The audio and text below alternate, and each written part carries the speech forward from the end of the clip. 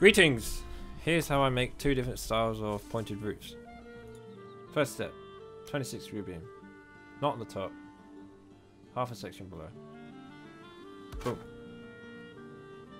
Next, pick the 26 degree corner. Regular tiles next, 26 degrees, following off the edge. Back, back.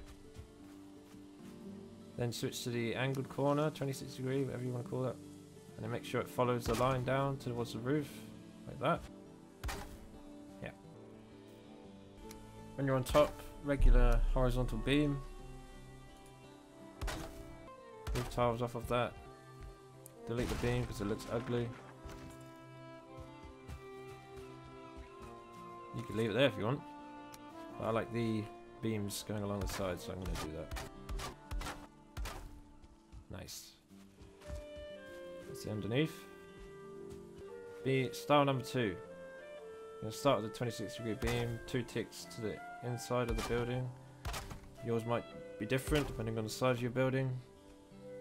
Do these two together so they support each other. Easy. This is a bit fiddly sometimes. 26 degree in the middle. Now I had to remove some pieces to get this to fit, but I was at the back. 26 degree corner angle. Same on the other side.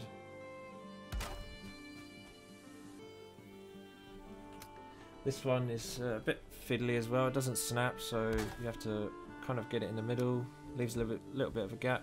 I think it looks nice. Same on the other side. Beam across.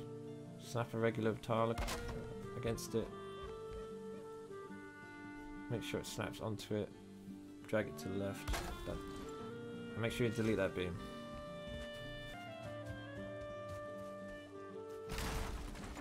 This style 2 shows a little bit the inside, but I think that's fine. Style number 1 does not. And then you can also obviously customize how you want it to finish. Thanks. Bye.